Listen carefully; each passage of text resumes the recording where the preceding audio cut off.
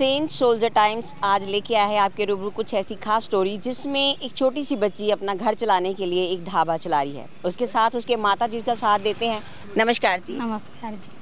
क्या नाम है आपका? रवीना खातून जी। पीछे से कहाँ से रहने वाले हो? बिहार की। बिहार की। तो अररिया जिला। कहाँ से? अररिया जिला बिहार। जी। तो कितने टाइम से पंजाब में काम कर रहे हो? करीब पंद्रह बीस साल होने वाली है। पंद्रह बीस सालों से काम कर रहे हो।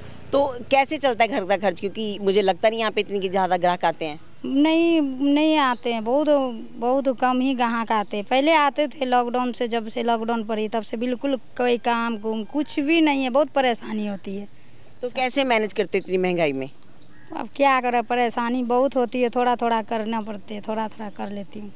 क्या क्या बनाते हो? घर का खाना बनाते हो आप? हाँ घर का खाना दाल चावल सब्ज़ी रोटी परोठे चाय यही। तो कितना हो जाता महीने का जिस हिसाब से आप काम कर रहे हो? वो बस इतना ही जितना बच्चे बुच्चे का पढ़ाई उढ़ाई में घर का कमरा किराया किस्त है लोन का यही सब कर घर भी किस्तों पे है? हाँ घर किस्त पे है। तो आपके हस्बैंड क्या करते हैं? वो पाँच सौ पाँच सौ रुपये का वो दिहाड़ी लगा लेते हैं दिन में।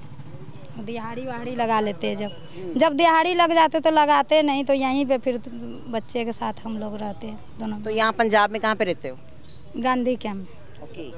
गांधीनगर के रहने वाले हैं ये और बहुत सालों से यहाँ पे अपनी ये दुकान लगाए हुए हैं और दु, दुकान में से इतना मुझे लगता नहीं कमा पाते क्योंकि उन्होंने कहा है कि लॉकडाउन से पहले वो बहुत अच्छी बिक्री करते थे लेकिन अभी बहुत महँगाई है। क्या कहना चाहते हैं महँगाई के बारे में? सिलेंडर उलेंडर इतनी महँगाई है कहाँ से बारह सौ में सिलेंडर लाके फिर घर चलाना दुकान चलाना नहीं होती है बहुत मुश्किल होती है वो।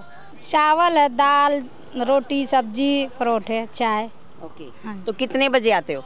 सुबह छः बजे करीब सात बजे आती हूँ तो रात दस बजे साढ़े दस बजे जाती हूँ।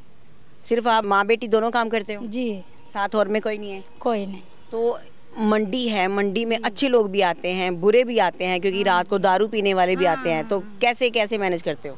कर लेते हैं दारू पीने वाले को हटा देते नहीं फिर उनको नहीं देती हूँ रोटी खाने के लिए मैं।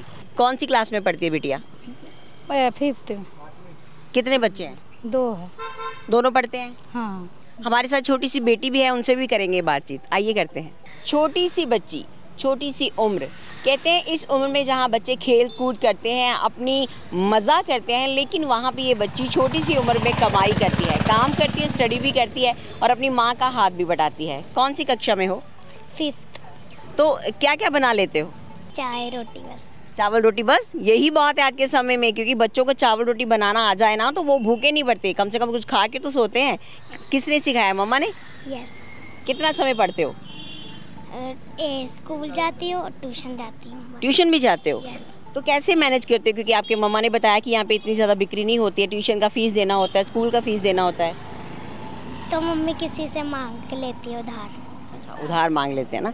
तो चलो ये देखिए उधार तो चलता ही है। अगर किसी से उधार लेते हैं तो उसको वापस भी करना होता है। सो ये जहाँ पे दुकान लगाई गई है उसका एड्रेस आपको ज़रूर बताएँगे। कहाँ पे है आपकी दुकान?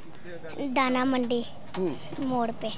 दाना मंडी के मोड़ पे ये दुकान है तो मैं सभी से यही कहना चाहूँगी कि यहाँ पे आएँ और घर का खाना ज़रूर खाएँ। सो बने रहिए सेंट सोल्जर टाइम्स में, मैं हूँ कोमल, कैमरामैन विनोद के साथ। ऐसी खास स्टोरी आपके रूबरू लेके आते रहेंगे। आप कमेंट करके ज़रूर बताया कीजिए कि आपको हमारे प्रोग्राम कैसे लगते हैं। धन्यवाद।